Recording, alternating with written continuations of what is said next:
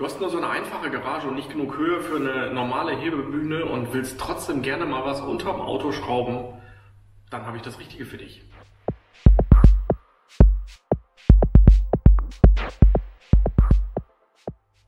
Hallo, ich bin Michael, willkommen bei MK's Garage. Heute will ich ein bisschen Service an meinem Cabrio machen und will euch mal zeigen, wie man auch in so einer einfachen Garage ohne irgendwelche Arbeiten, Fundamenten oder Deckenhöhe oder so, vielleicht auch wenn ihr eine Garage nur zur Miete habt, äh, welche Optionen ihr da habt, möchte ich euch gerne mal zeigen, was ihr da machen könnt, um unten an dem Fahrzeug irgendwelche Arbeiten durchzuführen. Und äh, ich bereite da jetzt mal was vor.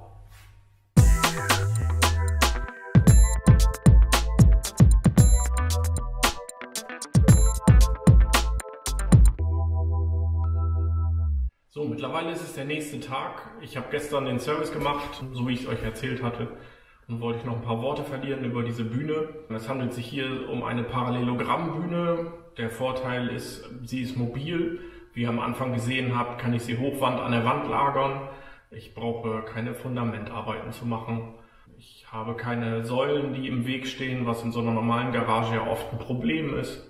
Und ist flexibel einsetzbar. Die Überfahrhöhe sind so ungefähr 11 Zentimeter. Wie ihr gesehen habt, muss ich da immer wieder ein bisschen nachhelfen, weil das Cabrio ein Ticken zu tief ist dafür.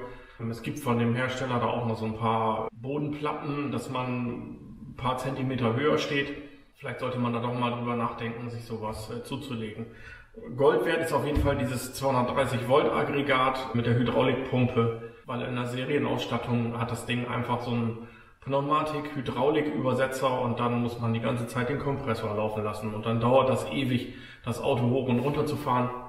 Mit dieser elektrischen Variante hat man das einfach viel zügiger nach oben gefahren. Dann noch diese Böcke dazu, die gibt es in verschiedenen Höhen.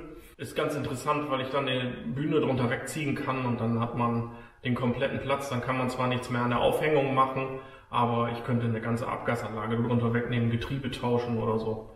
Diese Böcke gibt es in verschiedenen Höhen, da muss jeder für sich selber rausfinden, was die besten sind. Ich habe damals etwas flachere genommen, weil ich da noch den Mini Cooper S hatte. Der musste, ja, der passte ansonsten so von der Höhe her nicht mehr.